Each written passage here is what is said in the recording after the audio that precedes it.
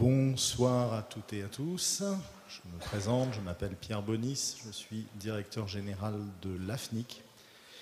Je voudrais, Monsieur le ministre de l'Europe et des Affaires étrangères, euh, Madame la conseillère fédérale pour l'environnement, le transport, l'énergie et la communication de la Confédération helvétique, Monsieur le secrétaire d'État à l'économie de la République fédérale d'Allemagne, Monsieur le président de l'Internet Society et Madame la présidente du Multi-Stakeholder Advisory Group euh, de euh, l'IGF, mesdames et messieurs, d'abord vous dire à quel point euh, je suis honoré et heureux de pouvoir modérer ce, ce, panel de haut niveau et en profiter pour remercier le ministère de l'Europe et des Affaires étrangères et le secrétariat général de l'IGF pour m'avoir désigné pour cette tâche.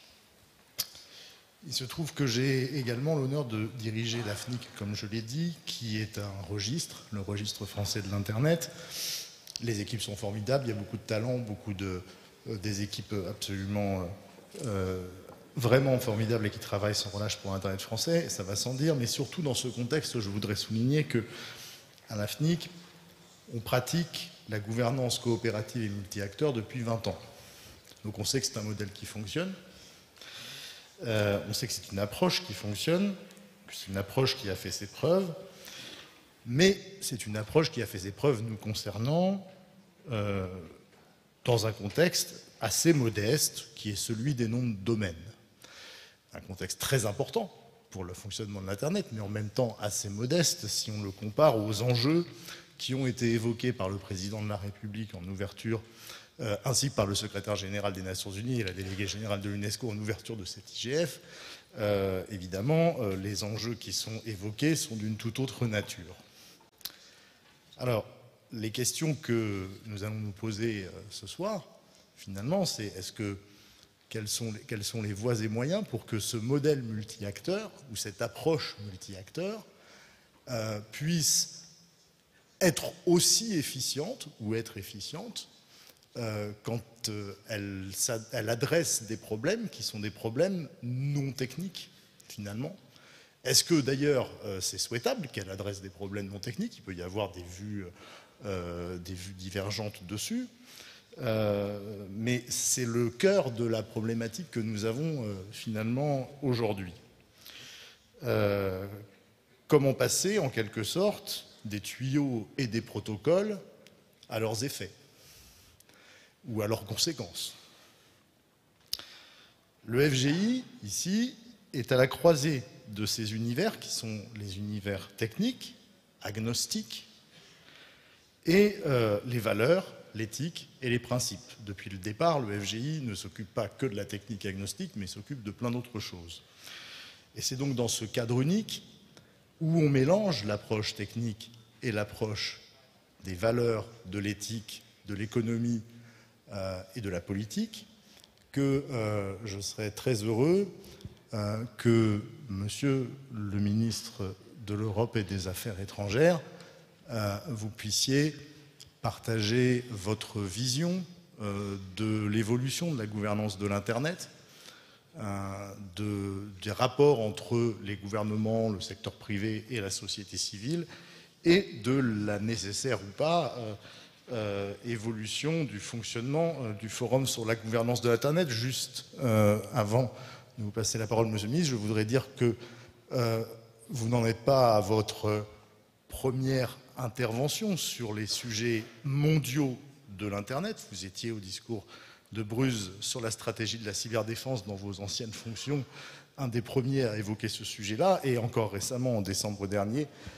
vous avez posé euh, la stratégie euh, internationale pour le numérique de la France.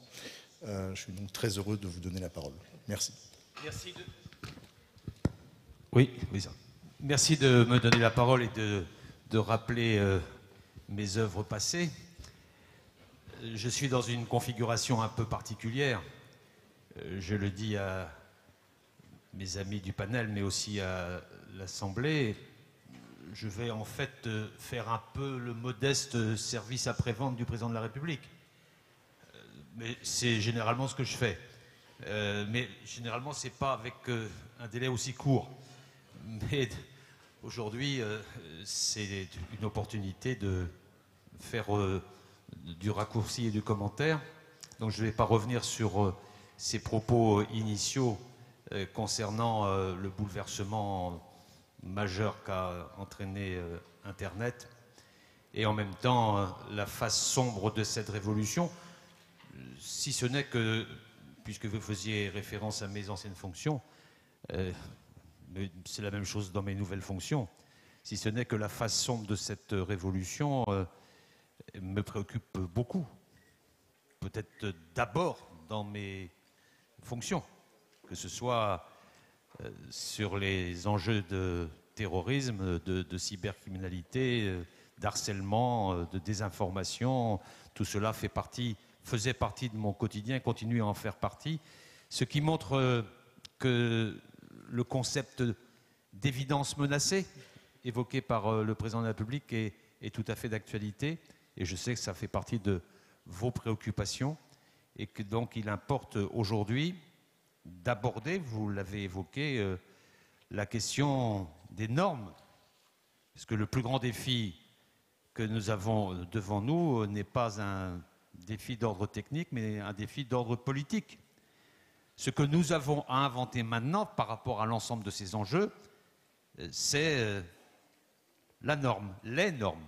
Et peut-être au-delà même des normes, je pense euh, aux principes qui les fondent, qui ont été en partie évoqués par le président Macron tout à l'heure.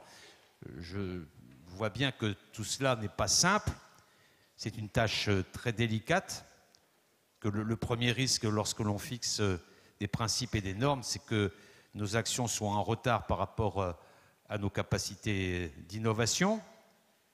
Le, second risque, c'est que nos, concitoyens, qui, avec raison, n'entendent pas renoncer aux acquis du numérique, estiment que nous ne sommes collectivement pas en mesure de, résoudre le problème qui se pose à nous, c'est-à-dire de lutter contre les menaces nouvelles sans nuire au dynamisme de l'économie numérique. Et je voudrais d'ailleurs dire ici, en reprenant euh, les propos du président de la République, que nous ne devons rien céder sur le terrain des libertés fondamentales et de l'état de droit, et que les États peuvent jouer euh, un rôle positif pour éviter que la loi du plus fort ne devienne la norme dans le cyberespace. Et c'est le, sens euh, des principes évoqués dans l'appel de Paris relatif au comportement des acteurs privés qui ne sauraient, sur cette question de l'usage de la force, euh, ne sauraient euh, user de la force dans l'espace numérique, pas plus que euh, les acteurs privés n'usent de la force dans l'espace physique. C'est-à-dire qu'il y a aussi ce risque de privatisation de l'usage de la violence numérique et de la riposte privatisée par rapport à des actions euh, d'intrusion qui pourrait être menée, il faut là respecter les responsabilités des uns et des autres. Et donc euh, se préparer ensemble à agir pour euh, des normes qui aujourd'hui n'existent pas. Et donc il faut les produire ensemble. Il faut les produire dans des lieux opportuns.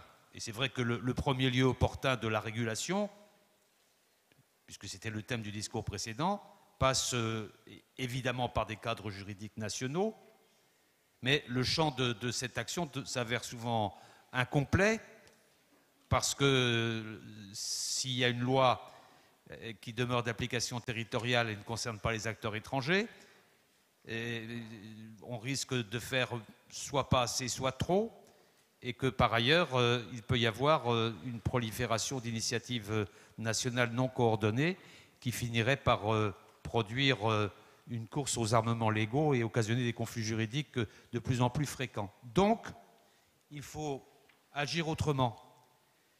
Je sais qu'au niveau des Nations Unies, il y a un travail qui se fait, même s'il est parfois euh, contradictoire, complexe, difficile, qui n'émergera pas peut-être demain dans un, ensemble juridique reconnu, mais c'est un lieu majeur.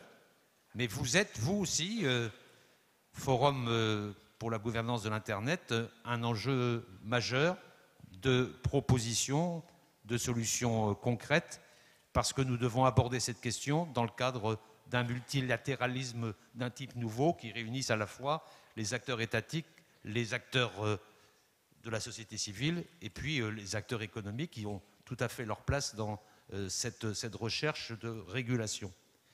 Et donc l'appel qu'a proposé le président Macron tout à l'heure, c'est un appel à l'action coopérative pour élaborer les bases de la régulation. Et l'appel qui a été formulé, c'est que ce soit aussi à partir de vous que cela puisse se faire. Il y a eu euh, ce matin le lancement de l'appel euh, de Paris, dont, euh, me semble-t-il, l'élément central est, celui de, la confiance, puisque cela est repris à plusieurs moments la notion de confiance qui est la base du fonctionnement régulier de tout espace social. Confiance dans le fait que les entreprises, notamment celles qui ont un poids systémique, sont prêtes à endosser leurs responsabilités en cas de vulnérabilité liée à leur système. Confiance dans le fait que le cœur public d'Internet sera protégé. Confiance dans le fait que nous rejetons le pillage ou la perspective de se faire justice soi-même, comme nous rejetons les comportements inacceptables. Confiance qui doit se traduire euh, demain par euh, les bases d'une régulation. Et nous, souhaitons que l'IGF soit acteur majeur, c'est ce qu'a proposé le président de la République, parce qu'il y a urgence. Il y a, urgence, sinon euh, l'évidence contrariée dont on parlait il y a un instant risque de provoquer des balkanisations de l'ensemble Internet. Donc voilà la posture de la France. Il y a des expériences antérieures qui ont montré que le multilatéralisme, lorsqu'il faisait pression autour de textes, et maintenant il y a une proposition autour de l'appel de Paris, permettait d'aboutir à des résultats. C'est ainsi que nous avons agi pour euh, interdire les armes à sous-munitions ou les mines antipersonnelles. Ce mouvement a été créé et nous voulons, après l'appel de, de Paris, la France veut être actrice dans ce mouvement, avec tous ceux qui veulent bien y participer, euh, pour euh, faire en sorte que l'on puisse anticiper même des formes de régulation partagées.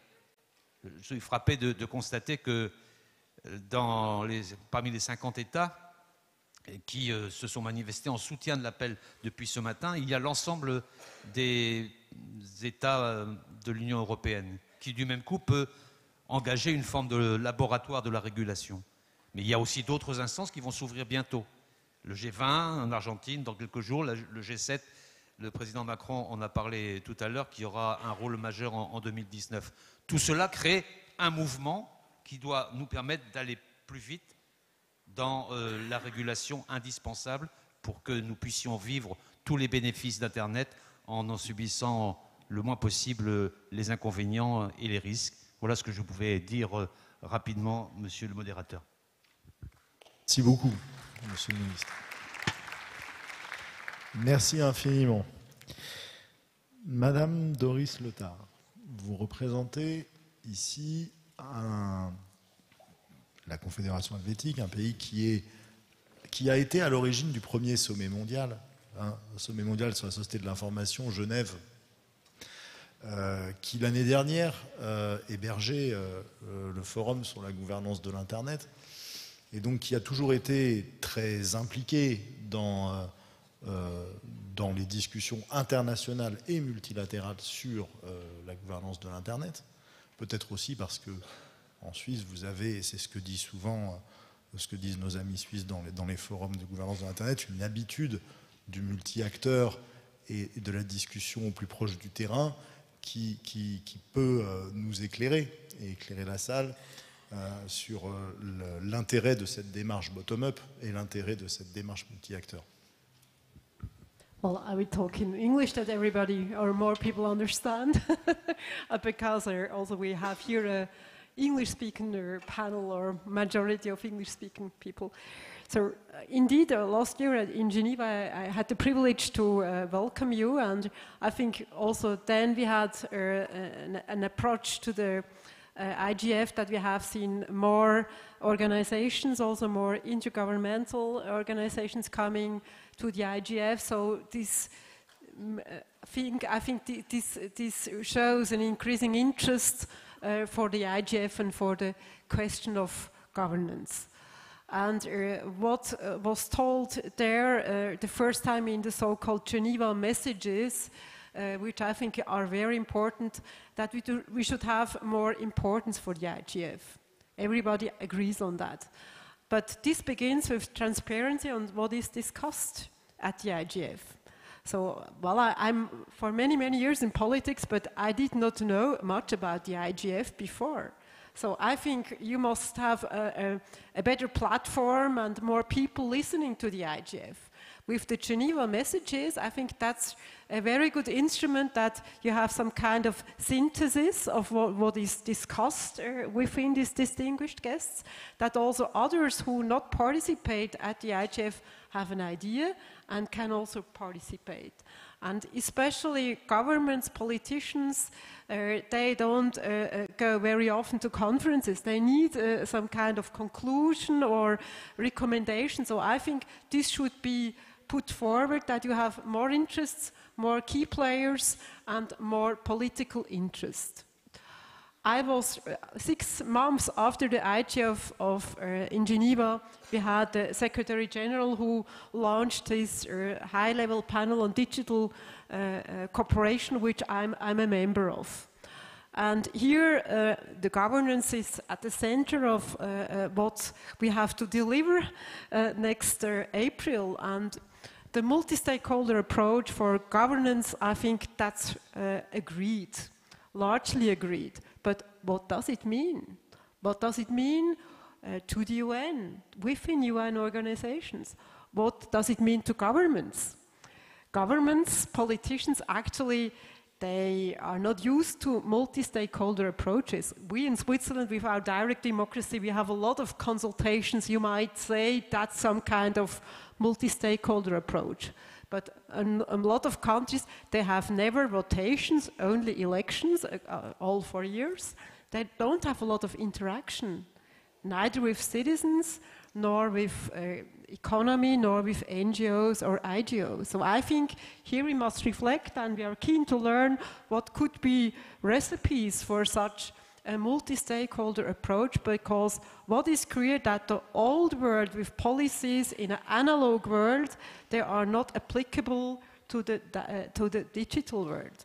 A lot of uh, policies or laws might be adapted and that's why we had on an international level on common uh, objectives for this uh, uh, internet world uh, principles which are applicable to all, from Burkina Faso, we have the minister here, to uh, uh, South Asia, to, to every countries with different levels also of development of their digital infrastructure.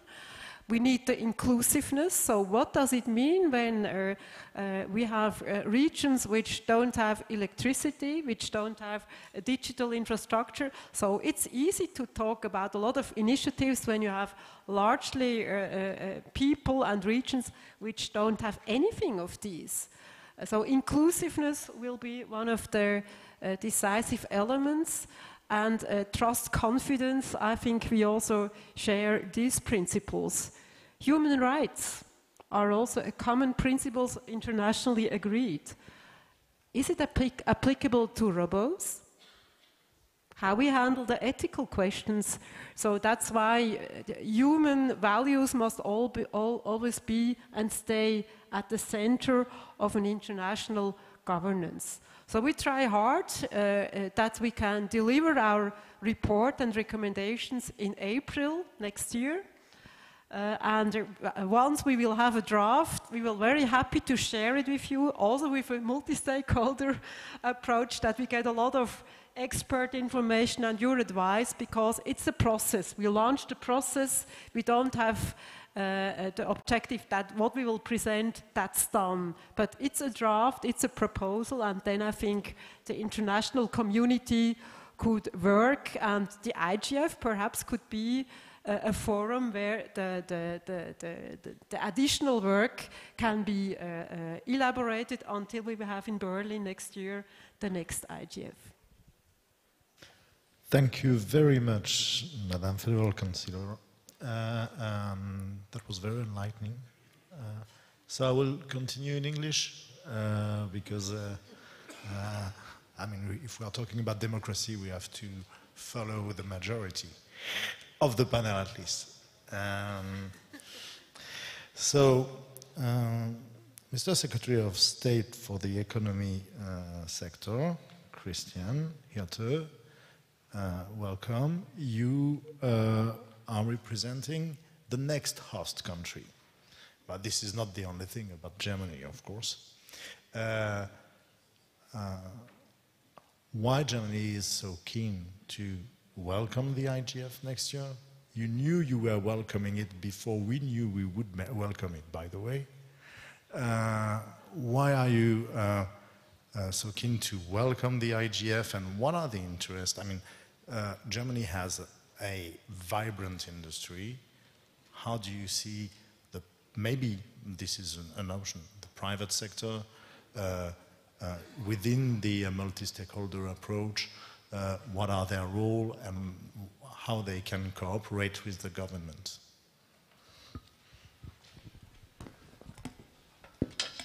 Well, ladies and gentlemen, first of all, I would uh, like to thank France for hosting this year's IGF. Uh, as you just uh, told, next year Germany will uh, host uh, the IGF, and uh, we want to take Uh, our example from you in France and uh, from you in uh, Switzerland to do it at least as good as you did. Um, the question for us is how can we strengthen the IGF, both nationally and internationally? And it's not about whether we strengthen it, it's about how we are going to do it. This is because we recognize that the IGF is the world's most important platform for discussing the future of the internet. Our multi, uh, multi-stakeholder approach is crucial in this. Uh, nowhere else do representatives of national governments, civil society, business, technology and others came, uh, come all together at international level. As equals, they discuss current challenges concerning the internet and the digital transformation. In view of digitization and given that it affects all of us, this is exactly what we need. The internet is the operating system that powers our society. There is a whole range of issues, from protecting human rights to data protection, trust, cybersecurity and fair competition, right through the development of new technologies and much else besides. This is why the IGF is so important. The IGF is where different kinds of expertise meet. It's where there is open and inclusive dialogue, where best practices are shared and where the key challenges for the future are identified. It is also where there is a vision of an open, secure, reliable and truly global internet, acting as a driving force for innovation and social development, free from censorship, discrimination and propaganda. However, we mustn't forget that the IGF is not only there to identify these pressing issues, it's also there to develop an awareness of them among, among the general public. This is also part of its mandate. And this is something we need to do more work on. Another key challenge for the IGF is raising the level of representation of certain groups within the, within the forum. I'm thinking here of the underrepresented global south, with, which needs to be integrated much more strongly. I'm also thinking of the business community and representatives of, of government. France is leading by example, not least with the involvement of President Macron today. The government of Switzerland was also represented at a high level last year with Doris Leuthard attending. We want to continue in this tradition next year in Germany. We are planning to have a high-level segment as well. After all, when those hosting the IGF attach a high level of importance to the forum, so will those attending. This raises the level of attention around the event and also gets the media interested. The result is that the topics talked about at the IGF gain greater focus among the public. But this is also something we need to be prepared for in advance. We need to prepare the content, groupings and shape of the discussions better so that the public can pick up on these more easily. Some things are already happening here, such as the Geneva messages, which were introduced by our Swiss host in 2017, a new feature that was well received and that has been taken up again this year by France in a good French style. Germany wants to carry on this new tradition next year. In turn, it's thanks to the MAG that there is now a greater number of standardized reports on the sessions held. The key questions for policy are now being developed in greater detail and the media work is also being stepped up. Ladies and gentlemen, new ideas are needed to generate greater interest in the IGF among the public and also to really get all key stakeholders from all regions of the world on board. I understand that this is, all, this is also one of the main targets of the new UN high-level panel on digital cooperation we need to make sure that our work is closely integrated in the work of the IGF. This is something Germany, as host of the IGF 2019, wants to beat the drum for. We want to continue in close dialogue with Switzerland, France, and the future host of the IGF 2020. And we want to do everything in close cooperation with the MAG. We will, of course, preserve the fundamental character of the IGF. This means strengthening the IGF based on the multi-stakeholder model with nothing ordained top down. We are looking forward to continuing this work. The German federal government is proud to be hosting the IGF 2019. We hope to be able to welcome all of you here and many other guests from all around the world besides when we host the IGF in Berlin next year. Thanks. Thank you very much. Can't wait to be in Berlin. Uh, First, we have to finish Paris. Uh, Andrew Sullivan, uh, very happy to have you here. You joined the Internet Society quite recently. Uh, while you are not a fresh fish in Internet, of course. Um, uh, you were very, uh, you worked a lot on the um, unknown Internet, the uh, the, the things that make it works, let's say it that way. Uh, and when I was talking at the beginning of uh, the internet governance of the protocols and uh, and in the underlying infrastructure versus the governance of the content, you were uh, working, and you are still, by the way, because ISOC is still working on that, of course, uh, on the underlying landscape that let internet works. So please, you have the floor to, to give us your vision of not only the IGF, but the internet governance in general. And when, when you are, where are you on that uh, uh, kind of cake when you have uh, the infrastructure layer and the political layer? Thank you. Uh, thank you. Malheureusement, je ne veux pas continuer en français Et ça, la raison, c'est évident. So I will not continue in, uh, in French because I am very bad at speaking French. Um, everybody at my university uh, in Ottawa would be very angry with me. In any case, I, I think that there is an important point in what you just said. The Internet Governance Forum is about the Internet, and the Internet is not one thing. This fact eludes us from time to time because we talk about the internet, right? We talk about the internet as though it's the table, as though it's the chair, but it's not like that. It's a, it's a network of networks. It's a thing that we use all the time. It's a, a, a way that we access uh, our email or send a telephone call to our mother, or sometimes it's a way of reminding ourselves uh, of how uh, you know, other people are misfortunate because we see the news across the internet or something like that. There are many dimensions to the internet. And when we talk this way, we don't always speak in a way that makes clear what it is we're talking about. So if I want to talk about what the Internet Governance Forum can do for Internet governance, or for that matter, if I just want to talk about Internet governance generally, what I should do most urgently is remember what the Internet is that what we're talking about is a series of different pieces, each of which is operated independently. It's necessarily collaborative.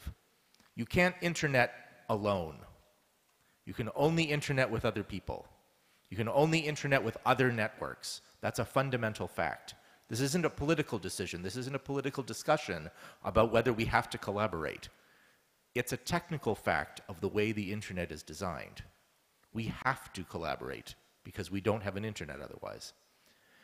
And that means that the fundamental ways of talking here at the IGF or in any of the internet governance uh, discussions where we take that seriously, they're automatically better precisely because we get that opportunity to recognize, oh, somebody else is trying to do something with this network.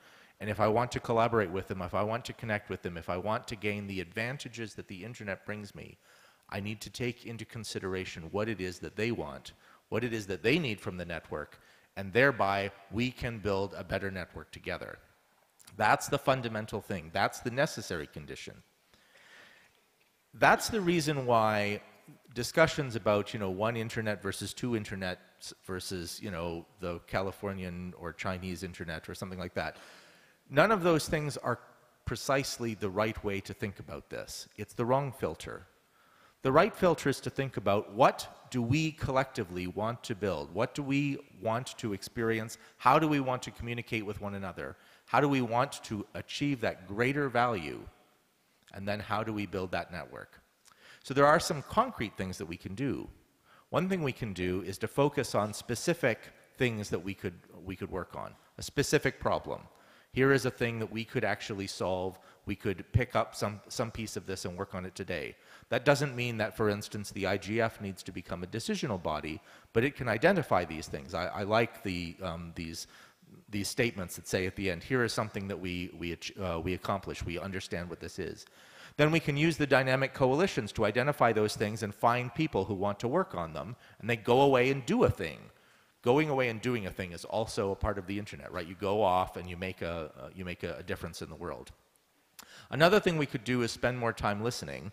Um, so I'm conscious that I'm talking and other people are not. Um, one of the things that we should do is spend more time listening, right? That the sessions sometimes are taken up entirely by panels and not enough um, uh, discussion and uncovering those things. This is also a bit of a scheduling problem at the IGF, right? We could make concrete moves just by saying, okay, fewer panels on the same topic, one panel, maybe a longer session, actually dealing with um, this issue and trying to hammer out what the details of the issues are. I think that the MAG has actually gone some distance in, in trying to do this, but of course there's always pressure from the community to go the other direction. And what we need to do as a community is to recognize that that's a discussion that we have to have together. Having a discussion, of course, involves more listening than talking, and that's the reason that now I'm going to shut up. Thank you. Thank you very much. Andrew Sullivan, not to shut up, but what, for, for, for what you said before, of course. Uh, uh, uh, now I have to give the floor uh, uh, to Lynn Saint-Amour. Everyone in this room knows Lynn, I guess, so I'm not going to take uh, too much time to, to introduce Lynn. I mean, she's the chair of the multi-stakeholder advisory group. Um, she's has been involved in the IGF from, I mean, from a long time, uh, and and she she she was also uh, uh, at a very important position in in, in ISOC. as the chair of the MAG, maybe you have heard several proposals or or vision on how do we set the scene. If I want to to quote Bertrand de la Chapelle, who invented that, how do we set the scene? How do we make sure that everything, the topics are understandable, clear. Uh, uh, this job is an incredible job that the multi-stakeholder advisory group does, but uh, how do you see the link between finding the topics, choosing them, and in a way making the internet govern governance evolving, making it more understandable by the people? Merci beaucoup, Pierre. First of all, if everyone in this room knows me, our outreach efforts have failed. we really have tried um, quite hard to expand and really bring in new introductions. And in fact, I think we've had quite a number of, I mean, in the, the hundreds of um, people that have, are, are, new registrants, first time participants. Um, I'd like to speak just kind of very quickly to some of the concrete improvements the MAG, the Multi-Stakeholder Advisory Group, has made over the, the last several of years, because they go right to the heart of more tangible outputs. And um, we really need to hear from the community. We need your participation in this meeting in particular in terms of, of helping us um, advance some of those. So, for instance, with how, how long we speak, um, each workshop organizer was asked to keep 50% of each session for uh, participation with the participants, so participant engagement.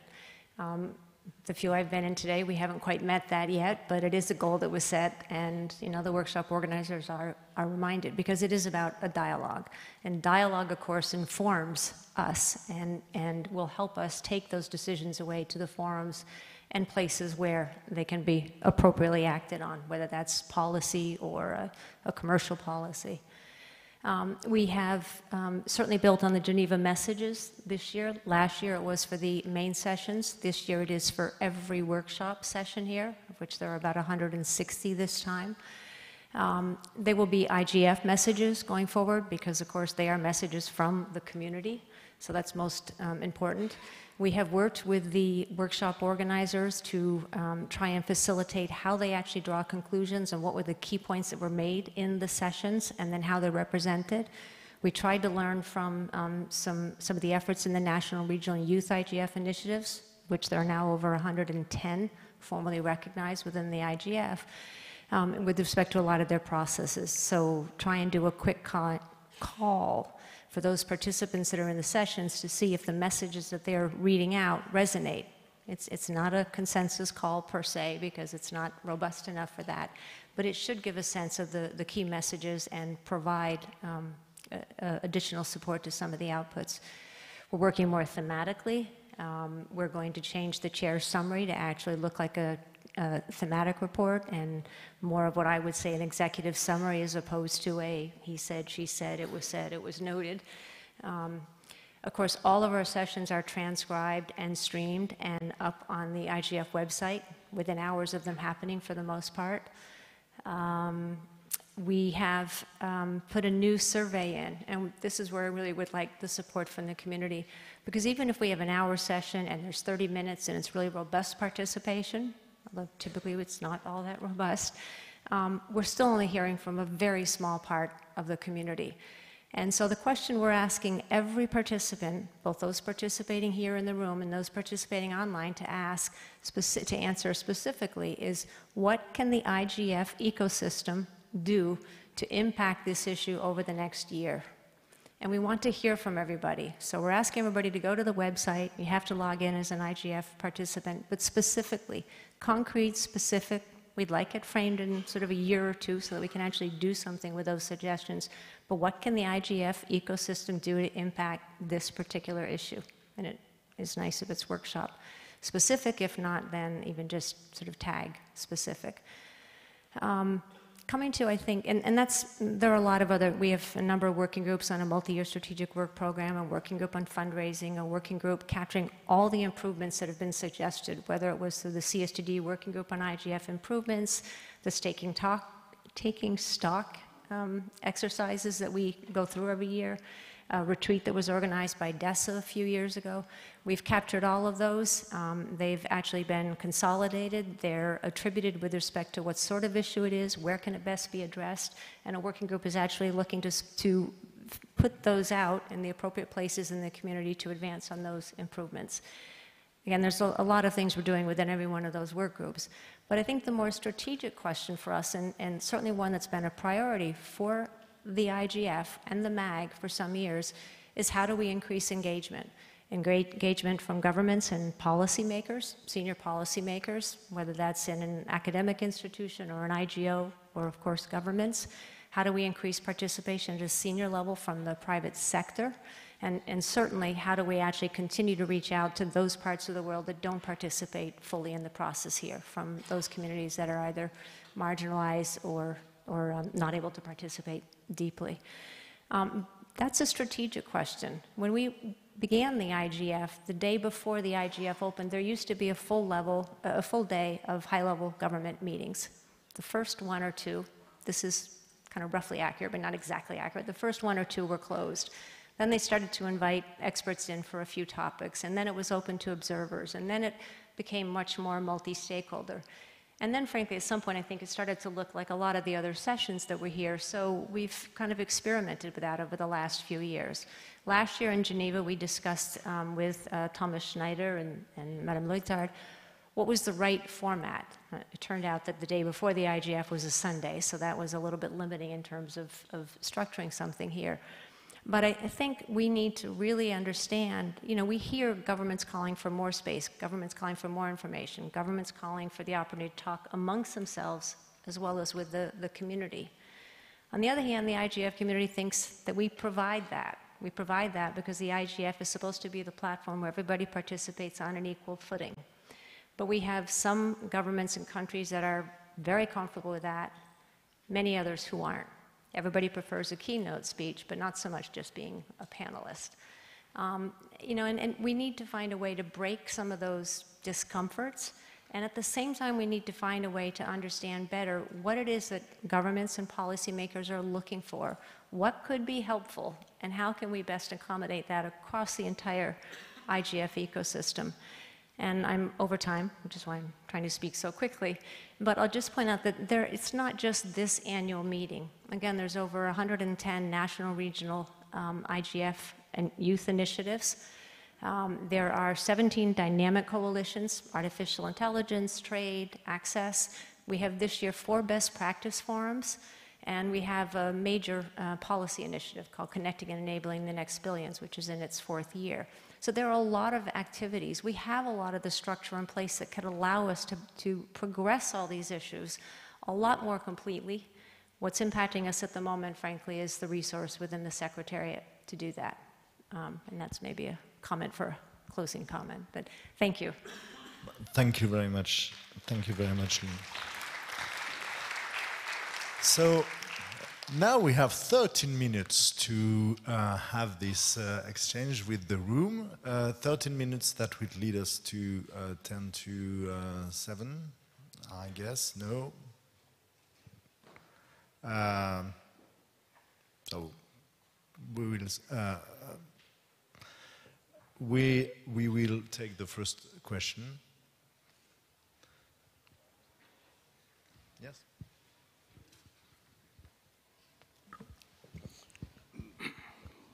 Bonjour. Merci de m'avoir donné la possibilité de poser cette question. Je m'appelle Munem Youssef, je suis directeur général au Conseil des ministres euh, du Liban et j'étais euh, le président de l'Arab IGF en 2014 et en 2015. Monsieur Bonis, euh, depuis, donc, depuis maintenant deux heures presque, après le discours du président Macron et les discussions qui ont eu lieu pendant le panel dirigé par M. Martineau et maintenant ce panel. Donc on entend quoi? Qu'il y a certains, euh, euh, certaines idées qui allent dans le sens que il faut maintenant euh, réformer. Il y, a, déjà des risques, et Monsieur le ministre Le Drian, il l'a dit, balkanisation. Peut-être il y a des risques de balkanisation de l'Internet. En fait, c'est vrai. Ces risques, maintenant, on parle de ces risques, mais à un moment donné, Monsieur le ministre, c'était presque de menaces. Et moi, je parle maintenant sous, le contrôle, peut-être, des délégations, euh, du délégué euh, de la délégation chinoise aux Russes. Le Russe, à un moment donné, en 2014, et les Chinois, à ce moment-là, ils ont carrément menacé de créer leur propre Internet et de faire des passerelles entre leur propre Internet et l'Internet mondial. Donc ces risques existent, c'est vrai. Mais maintenant, en entendant dire qu'il faut réformer l'IGF, le réformer dans, le sens qu'il devienne une entité ou un cadre de, de régulation de l'Internet Donc, je continue euh, avec un secrétaire général. moi, je, souhaite revenir sur l'historique de l'IGF. L'IGF, c'est un cadre de discussion bottom-up, de bas vers le haut, entre les différentes entités. Et en fait, ce forum-là, auquel nous participons aujourd'hui, il arrivait à terme en 2015. Et s'il n'a pas été renouvelé en 2015, nous ne serons pas aujourd'hui. Nous ne serons pas ici. Euh, parce que tout simplement, donc c'est un forum de discussion, c'est un forum. On vient, on discute, on dialogue, on échange, on délibère, on produit des outputs, mais en toute sincérité, Madame Saint-Amour, on ne sait pas qu'est-ce que ces outputs deviennent. Et je ne sais pas s'ils sont quantifiés quelque part, je ne sais pas s'ils deviennent des inputs pour quelque chose, mais depuis, depuis maintenant 2006, euh, ce IGF, c'est un lieu de, discussion. Euh, d'ailleurs, euh, il, est parfois très mal financé. Il y a des gens qui, donc, il y a des délégations pauvres, des, gens de la société civile, des étudiants, des chercheurs, qui parfois cherchent de bourses pour pouvoir venir participer à, l'IGF. Donc, en fait, c'est ça l'IGF. L'IGF, c'est un cadre presque informel c'est un cadre informel entre euh, des, gens pauvres et des gens riches, des pays pauvres et des, pays riches, et des délégations pauvres et des délégations riches, pour venir discuter, pour, venir euh, euh, donner certaines idées, etc. Par ailleurs, lorsqu'on parle de réguler, oui, oui, lorsqu'on parle de, régulation, réguler, c'est le travail, c'est le travail d'autorité. On parle d'autorité de régulation. Lorsqu'on parle autorité, c'est un cadre formel c'est un cadre formel avec des États, c'est un cadre formel qui nécessite euh, de financement, et, qui nécessite une autorité.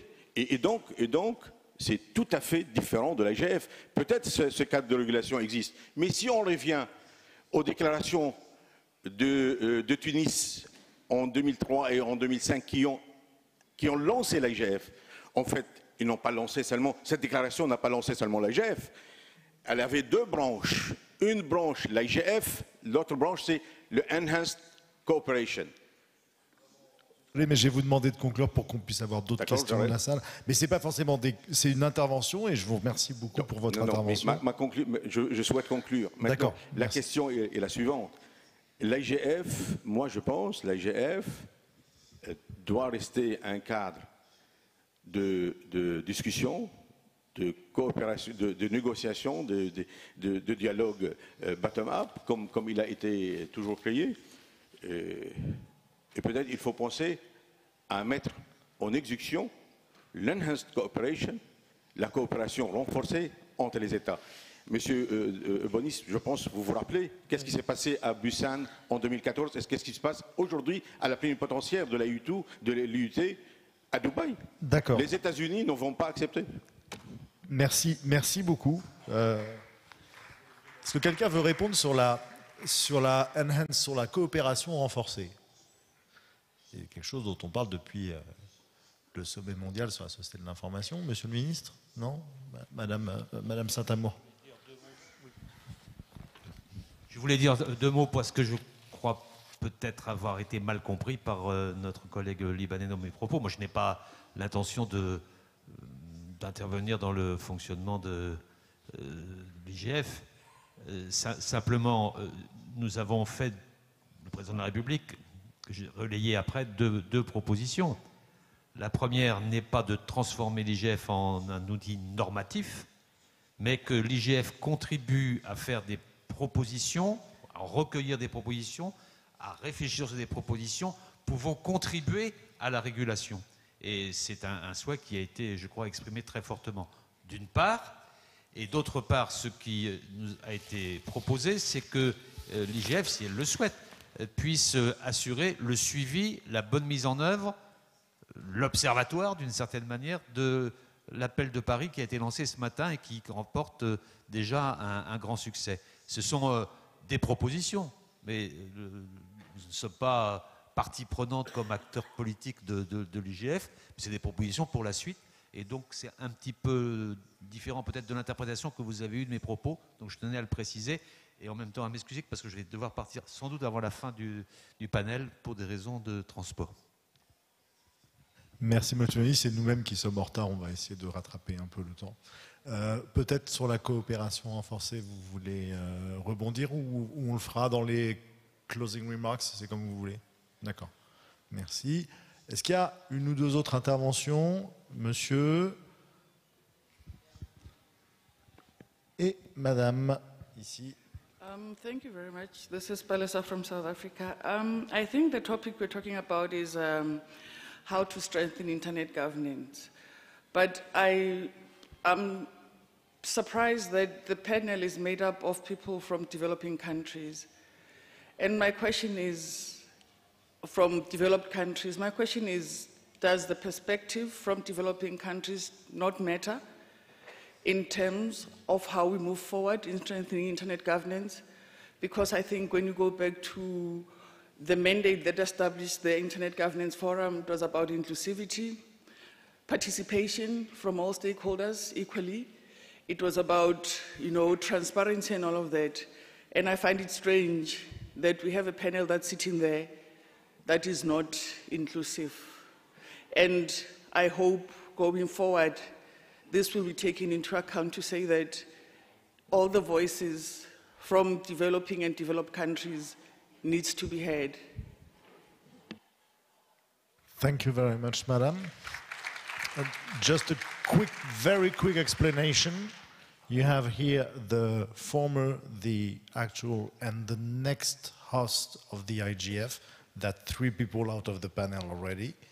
Uh, um, okay, Europe, Europe, Europe. The three uh, who, uh, who, who, were, who agreed to host the IGF, and then you have uh, one international organization that happens to exist and uh, is also deep-rooted in Africa, which is ISOC. And of course, the multi-stakeholder advisory, advisory, group has a lot of African HINITS members. I just wanted to, to, to, to say that. And, and, and especially for ISOC and MAG, I mean, they are not from developed or developing country, they are global. Oui, merci Monsieur le Président. Euh, je suis Isabelle Durand, je suis secrétaire générale adjointe de la Conférence des Nations Unies sur le commerce et le développement, qui travaille entre autres sur le soutien aux pays euh, en développement que Madame évoquait en matière surtout législative, à savoir comment sont-ils amenés à adapter leur législation en matière de protection de données, lutte contre la cybercriminalité.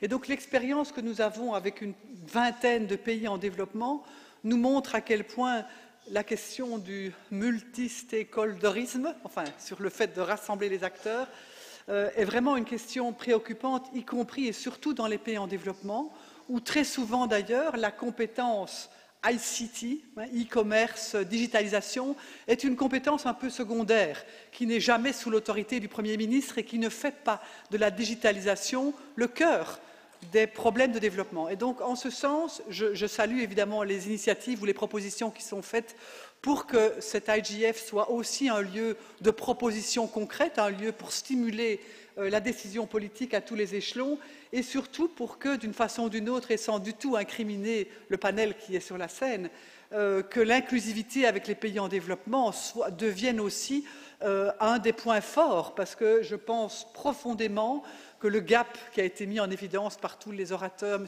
Guterres, euh, le président Macron lui-même, le, le, gap est tellement énorme entre les pays en développement et les pays développés qu'il s'agit à tout prix de mettre de l'énergie sur la mise à jour, y compris législative et réglementaire, pour les pays en développement où elle fait largement défaut, même pour l'existant, sans parler des régulations futures dont nous aurions besoin dans la suite. Donc j'apporte ici la contribution de la CNUSET dans cette discussion et dans les actions futures à mener parce que nous avons une bonne connaissance d'un travail de terrain auprès des gouvernements dans les pays en développement que nous sommes évidemment prêts à partager avec tous ceux que ça intéresse. Merci beaucoup, Madame. If, if, you if you want maybe to do some very quick closing remarks, uh, uh, uh if you, okay. So, uh, Monsieur le Ministre, uh, je vous remercie pour votre participation. Je sais que vous avez des, obligations. Uh, merci infiniment pour votre présence.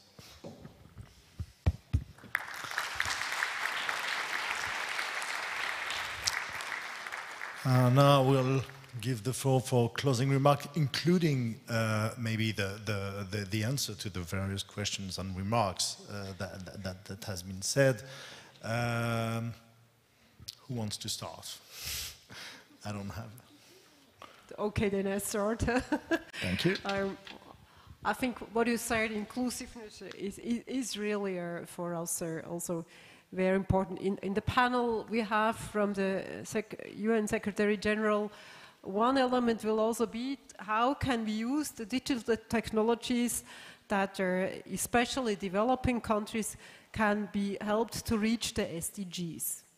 I think this is a bridge builder and this will help also to uh, uh, what you said, uh, that uh, all these uh, technologies, but also the skills and the capacities you need might be really helpful uh, for developing, developing countries to even accelerate their economic development. I'm sure they will not do the same mistakes we did, so they will have the best profit from digital technologies we have. And perhaps another element which could be helpful uh, in my portfolio is also the, the, climate change. And when you look at the Paris uh, uh Agreement, it was also uh, well a forum where it was uh, uh, a lot of interaction, a lot of informal exchange.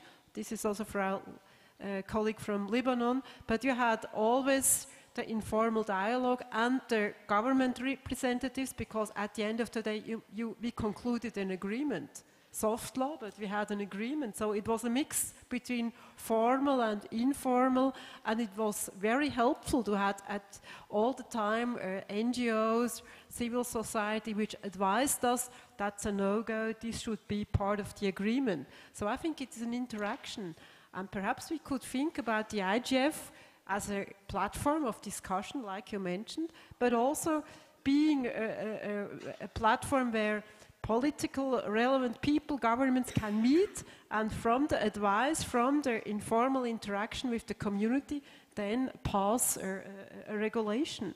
So I think this could be perhaps a, result of a process.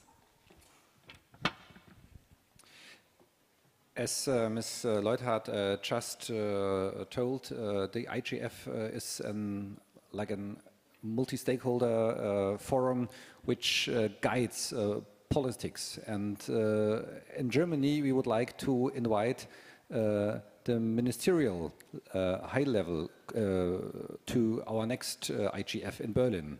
And we think it's important that we have politicians as well to talk about the topics that IGF uh, is uh, giving us.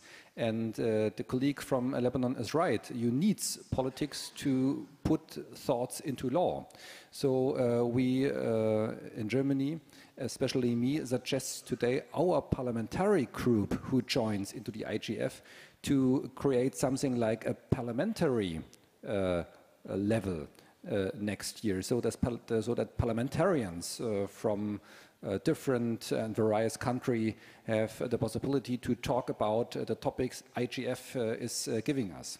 And um, the colleague from South Africa, I can tell that we in Germany see that it is important that we have a broad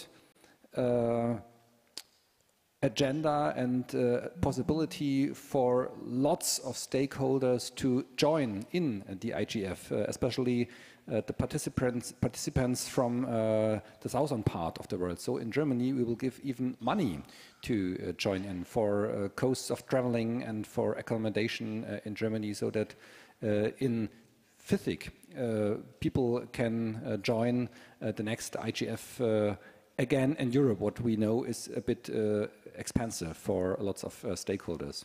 And uh, a last point, what uh, we in Germany think is uh, an important issue and we would like to address uh, the next IGF is that it's part of our German industry situation that SMEs should put into focus on what, what is their special role on the perspective on internet. And uh, as you know, our uh, German industry is quite successful in uh, IoT and Industry 4.0. So we think we should focus not only on the big companies, but also for the SMEs. And the last point, we uh, think that uh, IGE, uh, IGF should focus a little bit on AI because it is one of the very, very big topics for the future, how it will uh, drive uh, the world uh, on all its um, on all it what is comes out of uh, AI. Thanks. Thank you. Mr. Sullivan. Uh, thank you. I, it, it, occurs to me that there is a link to be made uh, between the this this specter of um, balkanization or fragmentation of the internet and this question about development and diversity of the panel that was here. Uh, you know, the Internet Society spends a lot of its effort and, and money um, on trying to connect the unconnected. It's one of the main things that we work on. And the reason we do that is not because, um, it, it's not just because we believe the Internet is for everyone. Of course, we believe the Internet is for everyone. It's what we try to do every day. But it's also because diversity in networks is better for the overall Internet. The internet is better if it has multiple ways of connecting. It's better if it has multiple things that it expresses, and it's better if there are more views expressed through it. And that's the reason that we're so committed to that. Now, with that in mind, we can come back to this question of, of the, the balkanization of the internet. You know, the internet, because it's a network of networks, is, is almost automatically fragmented. It's almost certain, for instance, that in the network in your office or in your home, there's a printer that you can't print to from the entire internet. And that's fine. That's a fine thing. There's nothing wrong with that. That doesn't mean that the internet is fragmented. It means that there are things that you have that you don't want to be part of the internet. And there are ways that we could, we could gradually expand that so that whole countries or whole uh, large provider networks do not provide that access to the internet. And we think that would be a terrible thing. It would be a tragedy because the people who, are, who make that decision are depriving themselves of this marvelous tool. And so what we want to do is reach out to everybody and say, here's this tool for you. Here's a thing that we think really helps you, helps you achieve your goals, helps you do the things that you want. It has problems. It needs some work on security. We can work on that. We can work on it together. It has some problems with the way the routing system works. It has some problems with inclusion. There are a bunch of people who can't connect to it. But the solution to that is actually to make those things better and not to try to break up the internet into tinier and tinier pieces controlled by fewer and fewer people. That's the mistake. That would be the mistake. And what we must do is make this so attractive and so marvelous that people don't want to disconnect from it. That's the challenge to all of us, the challenge to the technical community, to industry, to governments, to all of us, to make sure that we actually provide that. And in that case, the next time, this panel will not look like this, and it will instead be much more diverse because the internet becomes more diverse that way. Thank you very much for inviting me today. Merci, merci Monsieur Sullivan. Je profite des quelques dernières secondes d'interprétariat pour donner la parole finale à Madame Lynn St. Amour en, en, français pour moi et en anglais pour vous, évidemment. Quelques secondes.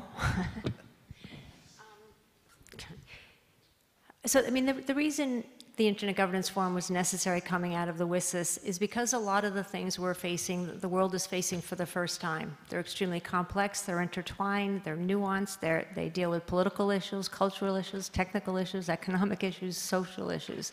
So dialogue is important, listening is important. So we're not just a talk shop. And I don't care if you're on your route to a regulation or a policy or a soft norm. I mean, it's important that you talk and that we talk and listen broadly across stakeholders. So that's what we try to do. Um, we've tried to work very hard to make um, the IGF as inclusive for those that are participating online as those that have the means to come to wherever the IGF is held. And we are very thankful to France for stepping up. In February, we didn't have a host. By April, um, we had a host. Um, the way to get more participation from other parts of the world in the IGF is to volunteer to host an IGF. And then we can pull in lots more people from these other regions. The earlier years of the IGF were really good in terms of how they were distributed the last few years, um, Switzerland actually stepped up last year because we didn't have a host. We thought that was because with the 2015 um, WSIS Plus 10 that people weren't certain if it would be renewed or not, and we lost some momentum. But then we had a problem this year as well. Germany has been in the queue for some time. We're very thankful for that. But that's why we have this, this aggregation of, of European IGFs here. We desperately want to go to other regions. Um, so please, if anybody has an interest in, in hosting an IGF, um, we would be very, very happy to talk to you and, and explain what that, that engages. With respect to enhanced cooperation, um, they uh, met over several years earlier this year, and they concluded um, by not being able to approve a report on their work. A lot of the arguments there that they polarized on were frankly the same arguments that were in WSIS 1 and, and WSIS 2. Out of, this, out of that set of activities, though, there were a lot of really good suggestions and a lot of good problem statements, if you will, about what would help governments and what they were looking to resolve. And I think the IGF can go some ways towards addressing those. I think the IGF community needs to really think, as I said earlier, strategically about how we engage and, and how do we understand what's the right way to help the governments in the way they want to be helped and in a way that actually works with, of course, the, the DNA of the IGF and within the, the, the Tunis mandate.